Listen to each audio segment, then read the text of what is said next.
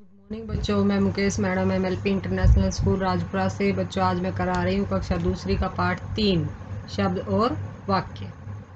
तो सबसे पहले हम लिखेंगे 14 मई 2020 फिर दिन है, गुरुवार, पाठ तीन, शब्द और वाक्य, विषय, हिंदी व्याकरण।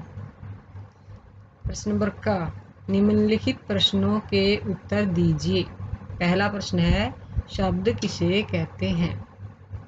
इसका उत्तर होगा, वर्णों के ऐसे मेल को जिसका कोई अर्थ हो, शब्द कहते हैं। जैसे यहाँ पर तीन वर्णों को मिलाया गया है, क, म और ला को।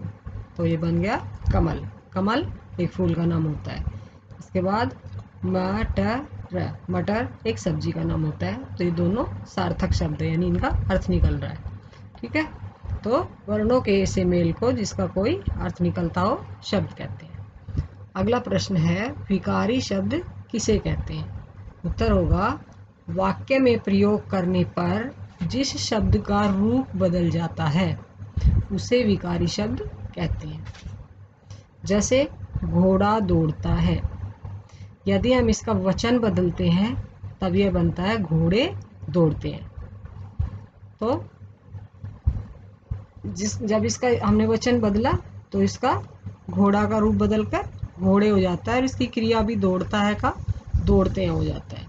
तो वे शब्द जो वाक्य में प्रयोग करने पर, जिनका रूप बदल जाता है, वो विकारी शब्द कहलाते हैं। तो बच्चों, मैंने ये अभ्यास कराया आपको। ये आपको अपनी नोटबुक में सुंदर राइटिंग में लिखने हैं और याद करने हैं। तो कल फिर मिलते हैं। तब तक के लिए धन्यवाद।